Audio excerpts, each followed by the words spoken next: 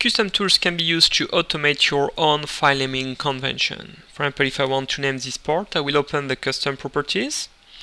So I can perform different set of actions for that document. I can also, for example, uh, save the document here, define the properties for the active configuration. I can use the project to load a default property value and also assign a default destination folder where the file used by this project will be saved.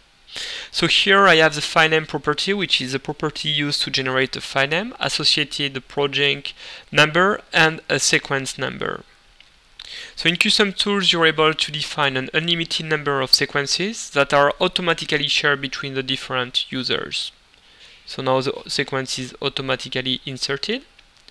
I can use a custom property from the 3D model to generate a drawing name. This is very useful, for example, if you use the SolidWorks configuration. Now we can see that the description property is left empty and custom tools does not allow me to save the document. So you can also use custom tools to force designers to define custom property value for the document.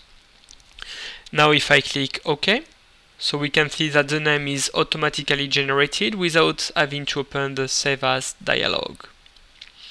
So now let's create a drawing for that part.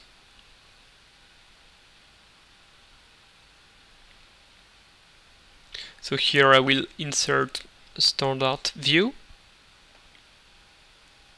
And now I will save the document.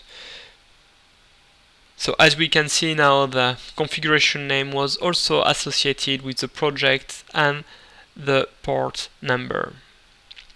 Now if I modify the custom property used to generate a port name, for example if I generate a new sequence code, so we can see that the file name property has been modified as well as the drawing name. So if I click OK, custom tools automatically recognize the change and offers me to, for example, uh, save as and create a new part.